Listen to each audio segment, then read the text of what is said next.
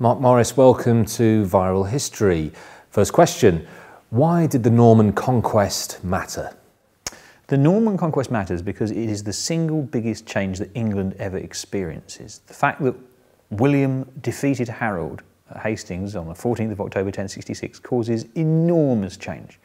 Um, the biggest change at the time was that the aristocracy of Anglo-Saxon England was swept away. Thousands and thousands of people who had been in charge of England, the earls, the thanes, and all their um, underlings, round about 8,000 people are within a generation replaced by a class of people who speak a different language, i.e. French, and who have a different set of ideas in their heads. So their Normans do warfare differently. They build castles. Not only do they sit on horseback and do cavalry tactics, they build castles, which were a, a brand new foreign imposition on England. They fill the land with hundreds and hundreds of castles. They rebuild every single major church, every cathedral and every major abbey is ripped down and replaced.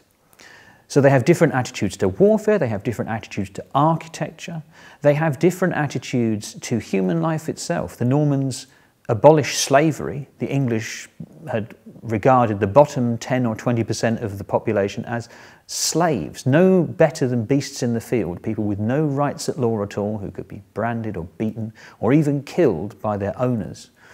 Um, the Normans do away with that. At the same time, the Normans introduce chivalry, which means they spare their opponents once they have defeated them. They don't, as the Vikings and the Anglo-Saxons had done, kill them when they're on their knees begging for mercy. Um, now, these are big changes um, because these, these attitudes, these new attitudes, filter down very quickly to the rest of the English population.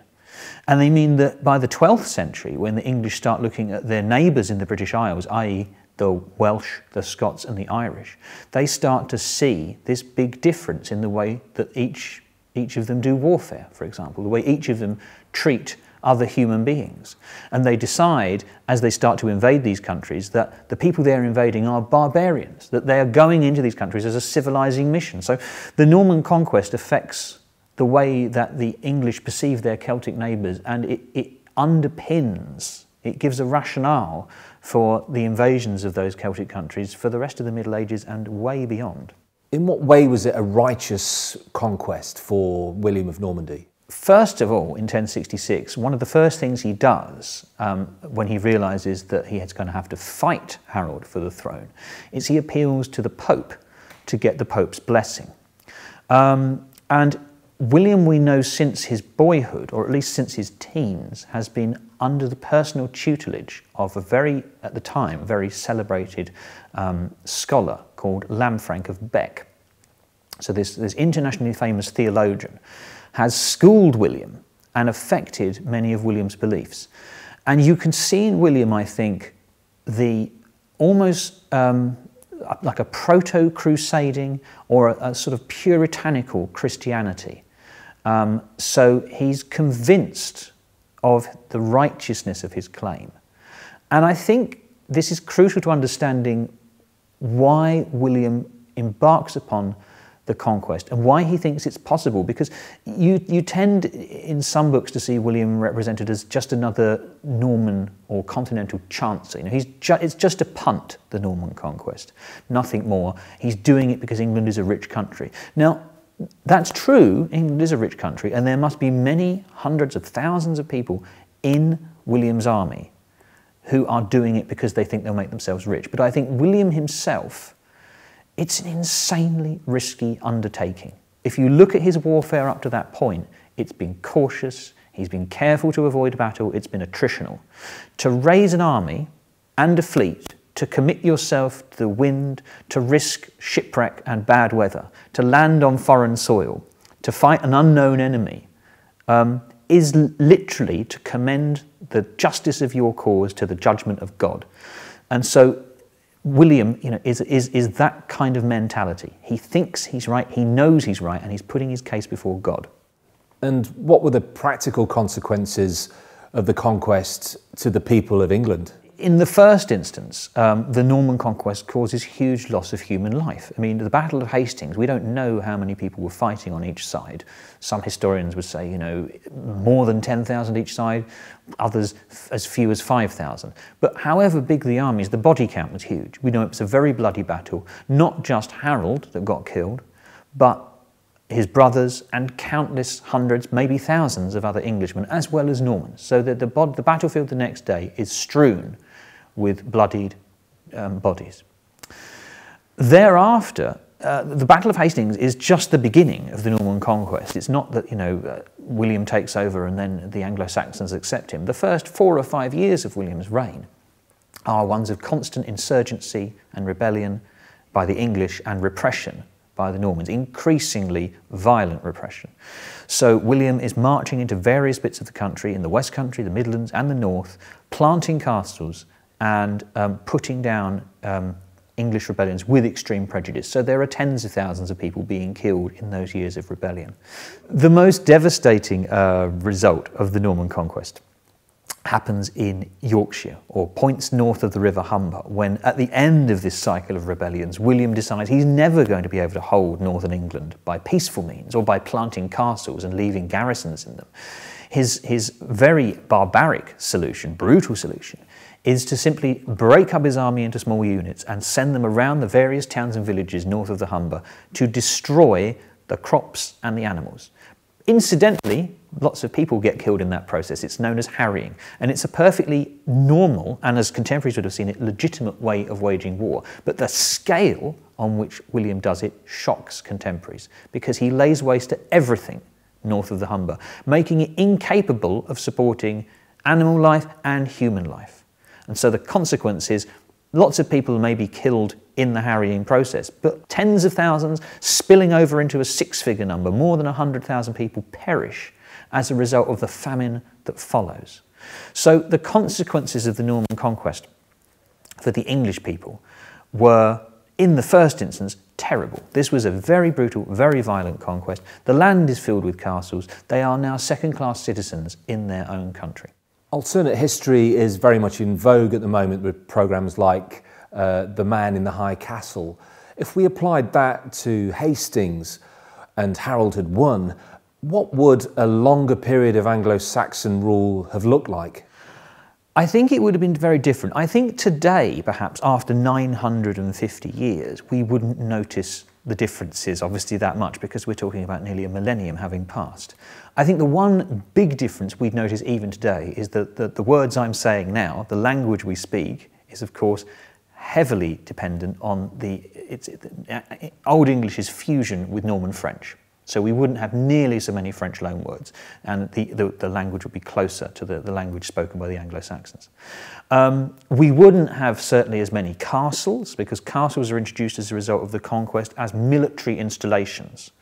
Um, so all the changes that come about as a result of the conquest um, the, the, the, point about the conquest is they happen very quickly within the space of one or two generations. So you get castles, cathedrals, massive, massive change.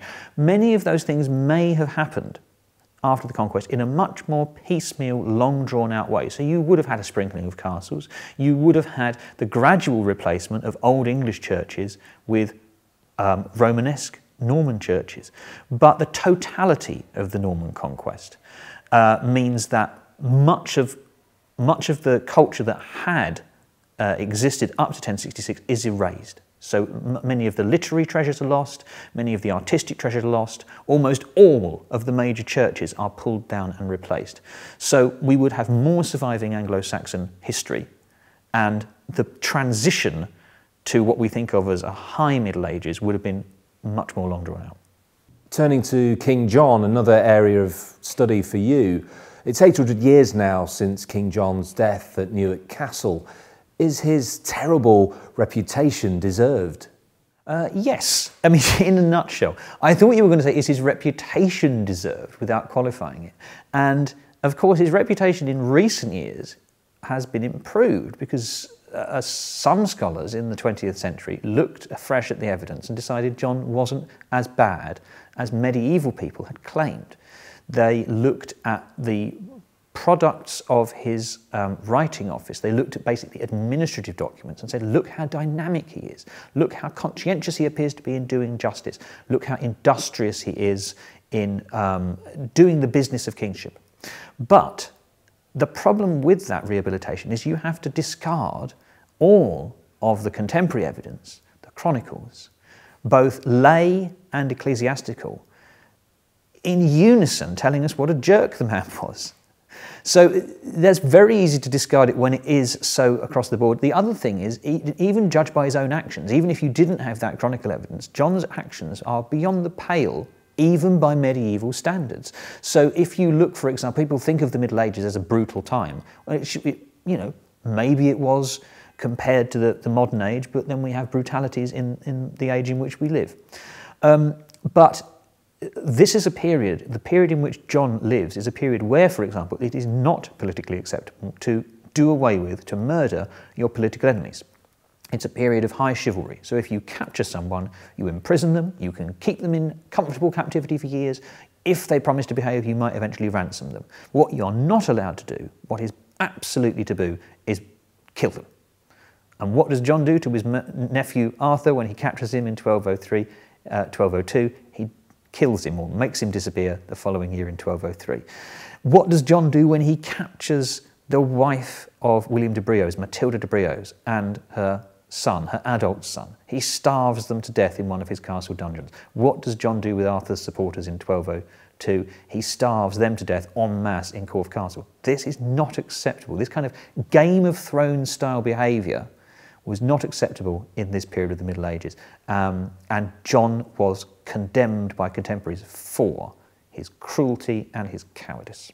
How far did King John's misrule create the conditions in which a mechanism like Magna Carta had to be created in order to avoid war with the barons? Well, I think Magna Carta, um, there are historians who would rightly look for antecedents far earlier than John. So they would say if you look at certain clauses in Magna Carta, these grievances on the part of the barons stretch way back to the time of his brother Richard, to the time of his father Henry II, arguably even further back into the 12th century past. So th there is, in, in some people's view, uh, a sense in which John is simply the patsy at the end of this process. He's the man who happens to be king when the lid finally you know, explodes off the pot.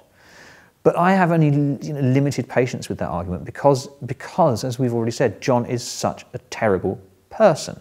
And clearly, people had tolerated the abuses of power um, of Henry II and Richard because they were on a lesser scale. But John, precisely because he preys on the women folk of his barons, because he deprives people of their property with such sort of authoritarian disregard for the law, he provokes enough people to say not only we need to rein him in or we need to uh, get rid of him even, but we need to make sure no one in future behaves this badly. So I see, and I'm not alone in seeing this because I think contemporaries saw it as well, that, that, uh, that Magna Carta um, was John's particular fault.